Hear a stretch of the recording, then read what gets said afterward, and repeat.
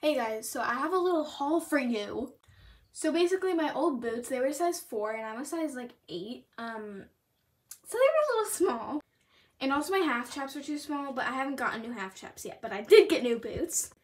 They were literally free. I got them from like this lady that gave me, um, I have a video of me riding in like this marine jacket and it was the same lady and she like gave me these free boots and they're actually pretty nice. They fit me really nicely which is good um and but they have laces which is like a little bit new to me.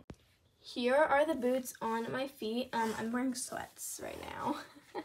Um but i'm gonna put the half chap on and i'll show you. Now this is it with the chap on and you can't even see the lacing which is nice.